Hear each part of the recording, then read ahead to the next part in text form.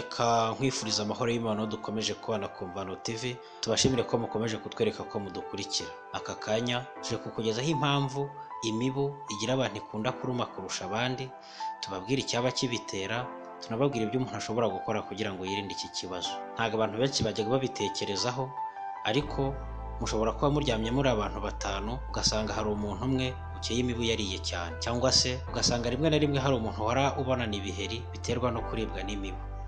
Biranashoboka kandi ko hari abandi bantu nabo baba babyiziho ubwabo ko imibu ibabasha cyangwa ikunda kubaruma. Ni ikintu rero gisanzwe kandi kibaho nubwo hari abatabitekereza.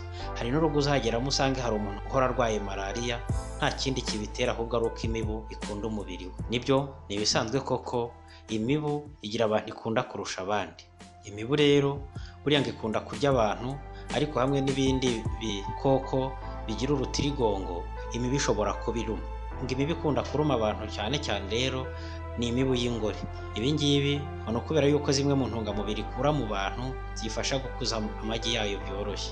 Kuba rero imibu yakunda kuruma umuntu runaka ikareka uwundi buriya ngo imibu ifite ibintu biyikurura cyane cyane. Ibyo ahanini ikunda kumva umuntu wo kujya kuruma igendeye kuri acide lactique hamwe na dioxide de carbone zose zishobora kuboneka ku ruhu rw'umuntu. Gusa amaso manini cyane ngo ibe ibasha kureba umuntu ahubwo ni ibingibi igenderaho bikayikurura bityo ikabasha kuba yagira umuntu runaka yibasira kurusha undi. Ni ukuvuga ngo igihe ufite uruhu rugira acide lactique nyinshi cyangwa se ufite dioxide de carbone nyinshi ahangaha uzibasirwa n'imibu kurusha abandi nta kabuza. Abantu rero ubushakashatsi bugaragaza ko bakunda kurumwa n'imibu abantu batwite n'abafite umubyibuho udasanzwe. Abangaba ni ukubera yuko ngo uruhu rwabo rukunda gusohora dioxide de carbone nyinshi bityo imibu igakunda kubumva vuba kandi byoroshye. Abandi ni abafite amaraso yo mu bwoko bwa O ngo nabo buriya imibu ikunda kubibasira ugereranyije n'abafite ubwoko bwa A na B. Imibu kandi ikunda kwibasira abantu bakunda kunywa inzoga abantu bafite igipimo cy'ubushyuhe cy'umubiri kiri hejuru abantu bakunda kugira icyunzwe ku ruhu rwabo abantu bafite uruhu rukunda gutanga acide lactique acide urique hamwe na octenol. Abantu kandi bakora imyitozo ngororamubiri abantu bari kugenda abantu bambaye ibintu by'umukara hamwe n'abantu badakaraba kenshi ku munsi. Aba ni abantu biba byoroshye ngo umubu ube wabaruma kandi byihuse.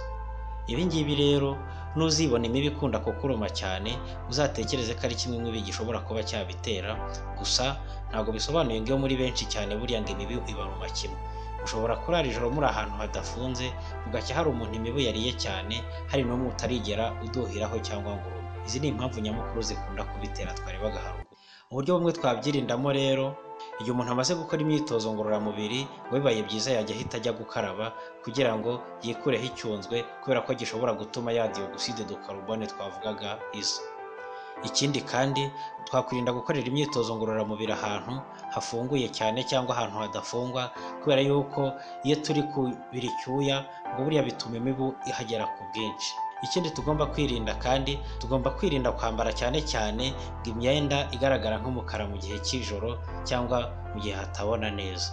Ikindi cyatubera cyiza kugira ngo twirinde kurumwa n'imibu cyane kandi ngo ni ukwirinda kuzinduka cyane cyane cyangwa kugenda nijoro rigezemo hagati kubera yuko iki gihe ni bwo imibu iba iri kugenda ku bwinshi kandi iri kubasha kuruma abantu. Tugushimira dukomeje kubana ku Mvano TV twari turi kukugezaho impamvu nyamukuru zimwe zituma imibu igira abantu yibasira ikagira abandi itibasira. Twarebaga n'ibishobora kubitera hamwe n'uko wabyirinda. Niba utarakora subscribe kanda kuri buto y'umutuku byanditseho kurikiza akamenyetso kameze nk'inzogera karakurikiraho. Dukomeze twirinde imibu kuko nk'uko ubushakashatsi bubigaragaza umubu ni rimwe mu bikoko bihitana abantu benshi cyane kubera yuko ishami ry'umuryango w'abibumbye ryita ku buzima ritangaza ko byibura abantu miliyoni bapfa buri mwaka bazize indwara zituruka ku naha buri wese rero kumenya ibingibi byo gukurikiza akaba yabyirinda kugira ngo atazagira ikibazo atewe no kuba yarumwa n'imibu. Turabashimiye